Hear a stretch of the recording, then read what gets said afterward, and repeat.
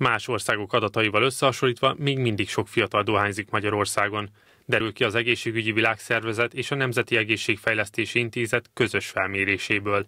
De nem csak a fiatalkori dohányzás okoz problémát, hanem gyakran előfordul, hogy valaki a várandóság alatt sem szokik le az ártalmas szokásról. Mondta el 35 perc című műsorunkban Holikné Sajtos Ágnes, aki hozzátette. Ez azért is veszélyes, mert a fejlődő szervezetre súlyos hatással lehet, akár egy 200 cigaretta is. Természetesen, amikor a kismama megjelenik az első felvételen, akkor bármelyik kolléganő az egyik első között teszi föl a kérdést, hogy dohányzik-e a kismama, illetve a várandóságot megelőzően dohányzott-e. Mi azt tapasztaljuk, hogy eltérő kulturális és szociális környezetből jött édesanyák mm, különbözőképpen vélekednek magáról a dohányzásról és a dohányzásról való leszokásról.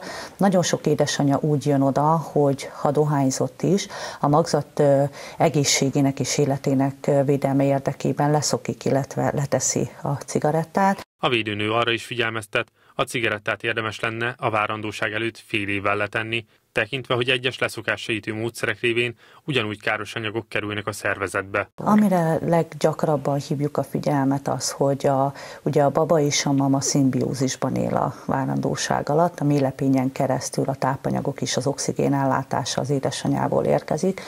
Ugye a dohányzás alatt a beszűkült terek, illetve a megnövekedett terhelés miatt a baba eleve egy oxigénban kevesebb vért kap az édesanyától, ezért nagyon nagy arányú a koraszülésnek a veszélye, kimutatták a későbbi allergiás, asztmás megbetegedéseket, illetve nagyon gyakori, hogy legalább egy 150-400 grammal kevesebb súlyjal jönnek ezek a babák világra, és sajnos azoknál az édesanyáknál, akik nagyon nem veszik komolyan, illetve nem érzik ennek a tényleges veszélyét, annyira elmehet ez a történet, hogy sajnos halvaszülés is lehetséges, illetve a genetikai kockázatokra is felszoktuk hívni a figyelmet, hogy bizonyos genetikai megbetegedéseknek az aránya is növekedhet a dohányzás következtében. A védőnő becslése szerint a kismák 90%-a hajlandó megpróbálni letenni a cigarettát.